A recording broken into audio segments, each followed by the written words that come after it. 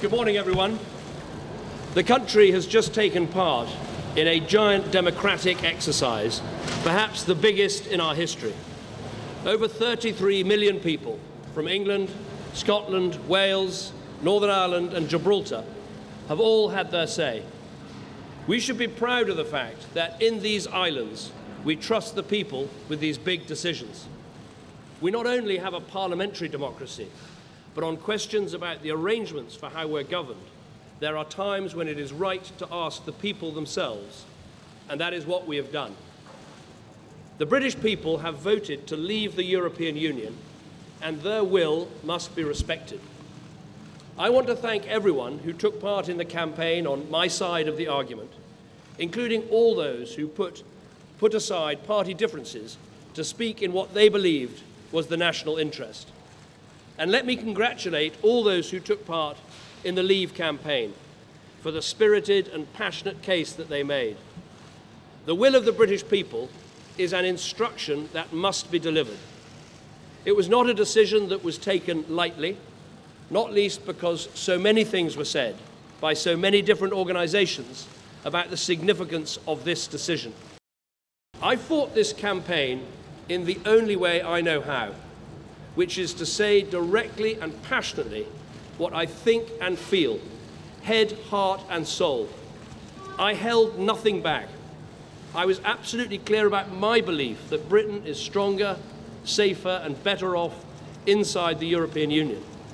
And I made clear the referendum was about this and this alone, not the future of any single politician, including myself. But the British people have made a very clear decision to take a different path. And as such, I think the country requires fresh leadership to take it in this direction. I will do everything I can as Prime Minister to steady the ship over the coming weeks and months. But I do not think it would be right for me to try to be the captain that steers our country to its next destination.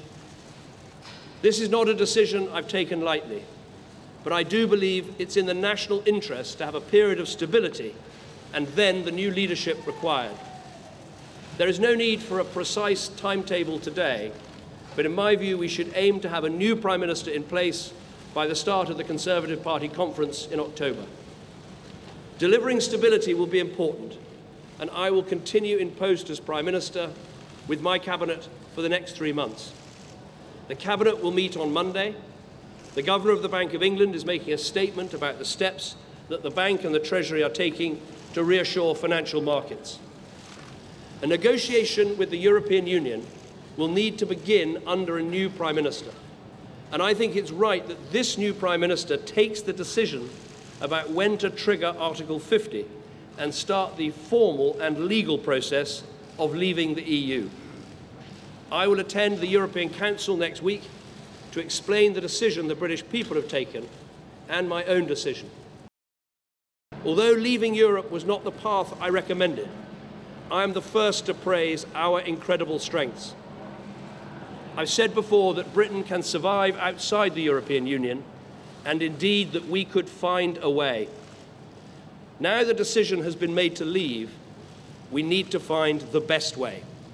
And I will do everything I can to help. I love this country and I feel honoured to have served it.